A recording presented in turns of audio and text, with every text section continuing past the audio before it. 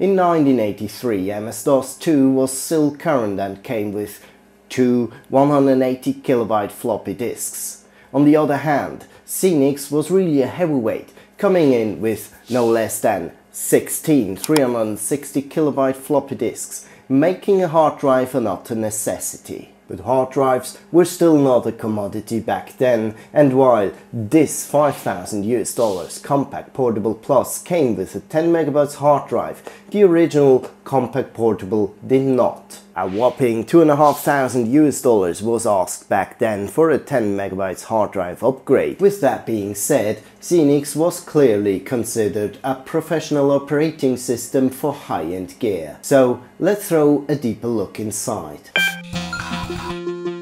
Obsolete computer technology is my passion. I'm the Phintage collector and these are my stories. Originally, I planned to dive into Xenix right away, though the unexpected breakdown of the Rodime MFM hard drive sent me back on that venture. Don't forget to check out my last video on recovering that hard drive in case you missed it. Luckily, my recovery went all good, even restoring all the previously marked defective sectors. So, with that hard drive being working again, I started the floppy disk creation. I used the Compaq Portable Plus itself for doing so, booting into MS-DOS and connecting to the server over a parallel port connection by means of Interlink. I found version 2.1.3 of SCO Xenix on WinWorldPC.com and Wait a second. Didn't you say last time you wanted to look into Microsoft Xenix, huh? I still, I still want, to, want revisit to revisit this machine, machine if it could run, run actually, actually Microsoft, Microsoft Xenix. Xenix. And what about SCO? How dare you? That's the company who was suing the frick out of the Linux community. No, they are not.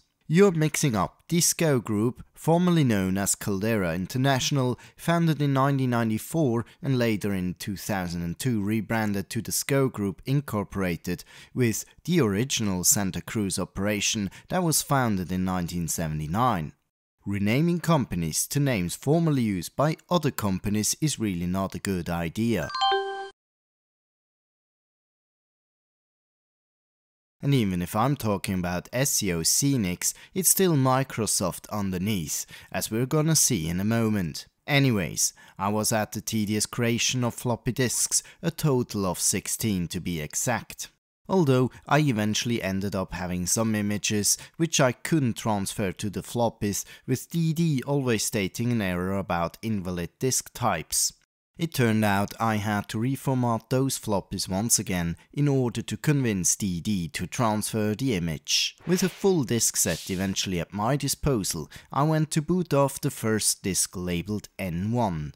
And while it clearly greeted me as being SCO Xenix System 5 release 2.1.3, this version carried both the copyrights of the Santa Cruz operation and also Microsoft. And when you watch closely, you see Microsoft's copyright predating SCO's by 3 years, going back to 1980. Fun fact, whenever it is claimed that Microsoft didn't have an operating system when IBM approached them, that's not fully correct. They had one, though as a full-blown Unix operating system it was far too demanding for the simple configuration of the original IBM PC 5150. Oops, that's not good. The file system floppy disk produces read errors and eventually the setup routine kills itself off. Looks like I have to create yet another floppy. So let's give it another shot. You didn't notice that 301 error, didn't you? You said you fixed that keyboard. Yes, the error reappeared during the last video already and it denotes yet another stuck key. I will eventually be opening the keyboard up again to fix it, promised, but now I really want to see Xenix. Awesome! It eventually ends up in the hard drive in it, which lets me inspect and change the partition tables. As you can see, it still shows the current DOS partition. I'll be removing this one now and create the Xenix partition. The 10 MB hard drive gives me a total length of 1219 tracks. I want to try if I can set up a dual boot system later on, so I'll be only allocating a thousand tracks, which should give me roughly 8 megabytes for the Xenix partition. 10 megabytes, 8 megabytes, this is really ridiculous sizes. Not by 1983 standards, this was a monster hard drive back then. Xenix would also ask me about the swap space allocation, proposing a default 1250 blocks allocation. That should be roughly 1 megabytes allocated to swap and I'll go with that default. Now, it's important to note down the boot statement as shown here. The system is not yet bootable, therefore you need to swap in again disk N1. Once the disk bootloader prompts you, enter the Xenix rootf statement. I struggle a bit with the US keyboard, sorry for that. I'm used to a Swiss German keyboard and this machine even has a German keyboard layout, so I'm totally mixing up the keystrokes. But here we are with FSCK performing a consistency check. It looks very familiar when you're used to Unix systems. It'll then start reading from disk N1 again, though here again I see some read errors. Okay, that's strange. It'll eventually ask for disk N3 without further complaints. I'll just let it run and see where this ends up. Worst case, I'll be starting over. In God we trust. Will you be quiet already? Oh, it asked me for a serial number. Well, there was none mentioned on WinWorldPC.com. Ah, please don't let this end here. Alright, after some googling around, I found the serial number on pcjs.org. Let's try it. Okay, that seemed to have worked and from here on the disc jockey game begins. At some point it's asking about the daylight savings time and the time zone. Well, CET and GMT plus 1 it is for me.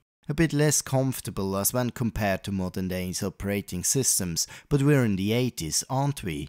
So up and until this point, Xenix loaded disks N1 to N3 and B1 to B3, a total of 6 out of 16, giving me the option to end with the installation procedure and going with the basic system. I'll be continuing though, and the system gives me various choices for the operating system, the development system and text processing. Well, I don't have any of the latter two. Initially, I believed these should be part of the disk set I made before, but following a conversation I had on Twitter, a guy pointed me out that these were separate products. At least the development system is available on winworldpc.com, not in 360kb disk format. Hence, I skip this for the moment and continue just with the operating system installation. This will bring up a variety of choices. Comparing to today's Linux distributions, with hundreds if not thousands of packages in a default install, this list is to the point. I'll just go with the all keyword to install everything. Now, back in the 80s, long before the joint collaboration of Microsoft and IBM to develop OS2. OS2? Yeah, OS2. Now be quiet and listen. Microsoft obviously followed some plans to establish Xenix as the major league high-end operating system back then. Even as of 1982, there were some plans to outfit MS-DOS with kind of a Unix compatibility layer to make the two running mates.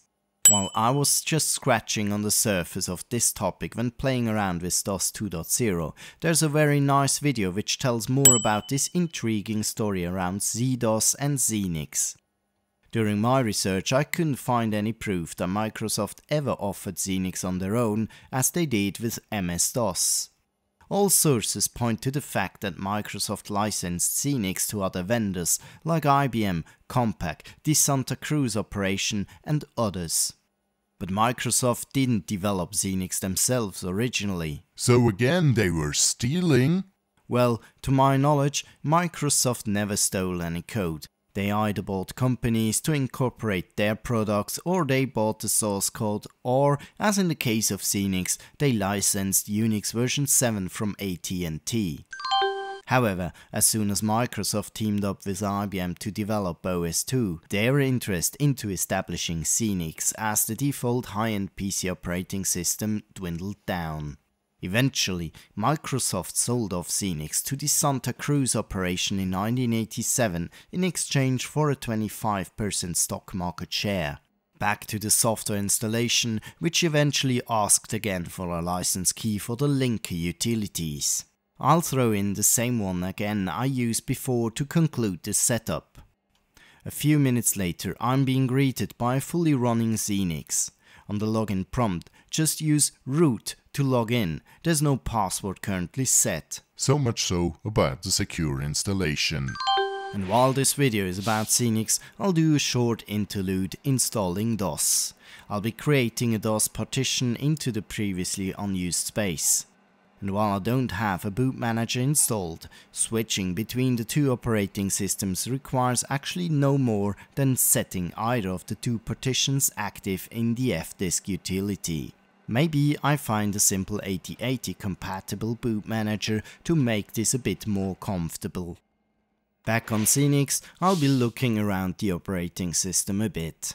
You'll find the typical Unix-like directory structure in the root directory with the slash dev slash bin slash user slash home slash var and slash etc directories. In slash bin I run ls slash l and pipe it through more which takes a considerable amount of time to process. But the commands shown here are not too different from a modern day's Unix derivate. We also have the shell environment as expected. Xenix also came with some DOS utilities, which are probably similar to nowadays MDOS tools, like here DOS DIR, which probably was used to access DOS disk drives. I will need to try this out at some stage. I am missing though the IP utilities like ifconfig and ping. I'd love to network this machine, but I surely need to investigate into this topic as well. After all, we also have the slash etc directory, which looks very familiar. And, as not unusual for the time, here the passwd file, which didn't support yet shadow passwords. One thing I noted was that the installation routine didn't install one last remaining floppy disk, namely the one being labeled games. Well, it can't be that hard to install it myself. Good old mount command will do. So I'll quickly create a floppy directory at slash mount slash floppy and then mount slash dev slash fd0 to floppy. Oh, you need a slash on the path designation. That's odd, but okay. What do you mean by bad superblock? Come on, this is surely not yet another bad floppy disk. Okay, I had to read up and found some mentions in some user groups that Xenix had a convention of offering specific device names for certain floppy types, like slash etc slash FD048 for a 48 tracks per inch floppy, or slash etc slash FD096 for a 96 tracks per inch high density floppy. With the added SS8, SS9, DS8 and DS9 suffixes, you could even direct the system to force it for single-sided and double-sided 8 tracks and 9 tracks formats. But all of this didn't help, the system kept complaining about the bad super block. There's also a tool called D-type, which can tell the actual device type for a given block device. Well, I was really surprised at first it being reported as in TAR format. Does that actually mean the floppy doesn't carry a file system but a raw tar archive, like as it was done on tapes? I'm honest here, I wasn't thinking about this, but it totally seems to make sense, as Unix comes from a time where paper tapes and magnetic tapes were very common. So I'll be running tar to directly extract from the floppy drive into slash temp and see this was exactly it. Looking at the output files and directories, it very much looks like sort of a packaging format. I guess I'm once more trying to do too much myself here. Let's take one step back. Now, I'm just exploring the Xenix operating system the first time in my life, and I didn't read up anything before. And while I know Unix and derivates very well, I still have to guess here and there. What could the software setup program possibly be called like? What about install? Yeah, thanks for spoiling it. Install it is. and it seems to read my floppy just fine, eventually installing everything to slash user slash games where we find some console games like here Worms, which you can't really play, but it just draws ASCII worms onto the display. I think this is more kind of a screensaver. It took me a while to find out how to quit because it's not escape and not control C or anything. No, it's control alt delete for whatever reason.